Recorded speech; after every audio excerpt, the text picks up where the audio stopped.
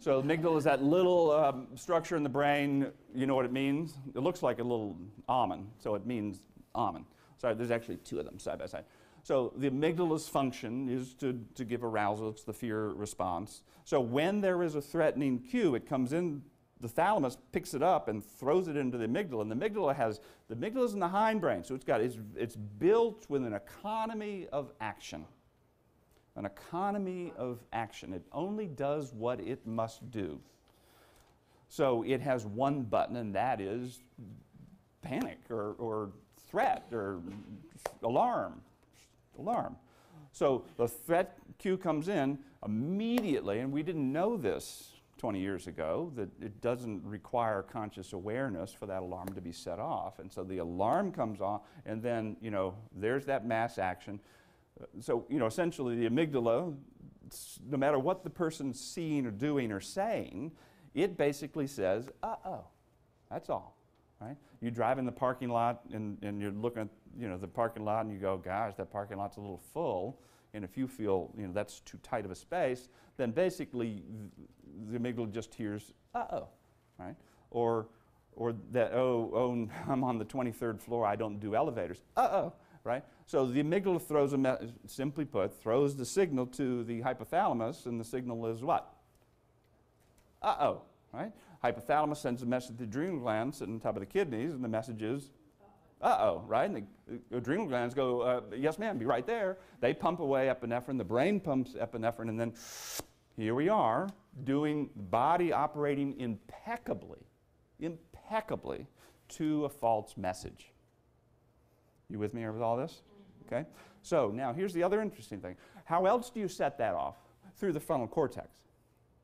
Right? The frontal cortex says, uh oh, boom, there it's set off. Now here's what we know about the wiring. There is direct wiring from the frontal cortex to the amygdala that will set it off into alarm.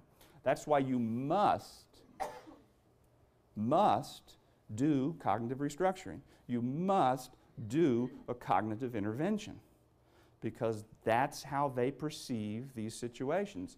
Uh oh, how am I going to fix this? Would happen to you?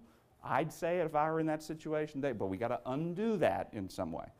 The frontal cortex sends that message there. There is no message available, there's no wiring available from the frontal cortex to the amygdala that says, just kidding. Didn't mean that. You can back down now. There is no communication whatsoever about this is a safe environment that you can say to the amygdala once it's de declared, once it's had a trauma.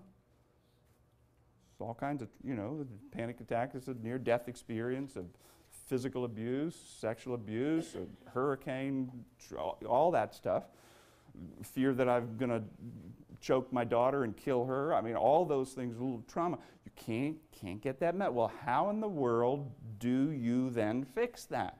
What you do to fix that is get the frontal cortex quiet. Be quiet. Allow, create an environment that you step into so the amygdala can fully experience the scene without the intrusion of the frontal cortex saying, uh oh, and it then learns through pure experience, you know, I don't need so much epinephrine. And then it starts to back away. And that's really what habituation is over time, if, and this is why people fail with habituation. You know, if you've got a client who has generalized anxiety or whatever, you send them off to do behavioral practice and they're worried before they go in and they're worried during it, and they're worried, oh, what, what, what have I done afterwards? No wonder they're not getting better, right?